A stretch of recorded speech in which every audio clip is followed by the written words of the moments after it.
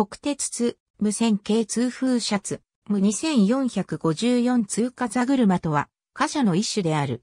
日本国有鉄道における記号は、つ。有害車の一種であるが、車体側面や床面に多数の通風用スリットを設け、屋根上にも多数の通風機を設置して、車内の風通しを良くしており、走行中常に換気しながら走行できるのが特徴である。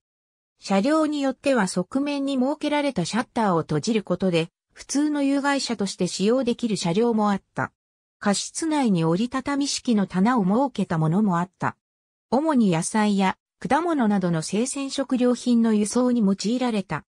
青果物はアセトアルデヒドやエチレンなどのガスを発生するものや高温に弱いものが多く、輸送中も呼吸を行うことで、車内温度が上がるため、通常の有害車を使い密閉した状態で輸送すると傷みやすいため、通風車を用いた。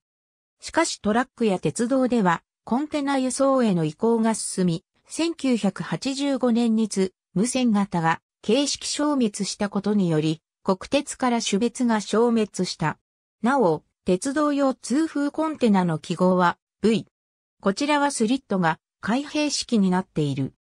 AB、貨物列車機関車と貨車の分類と歴史がわかる。本20ページ AB、貨物列車機関車と貨車の分類と歴史がわかる。本21ページ、貨物列車機関車と貨車の分類と歴史がわかる。本27ページ、貨物列車機関車と貨車の分類と歴史がわかる。本20から21ページ。ありがとうございます。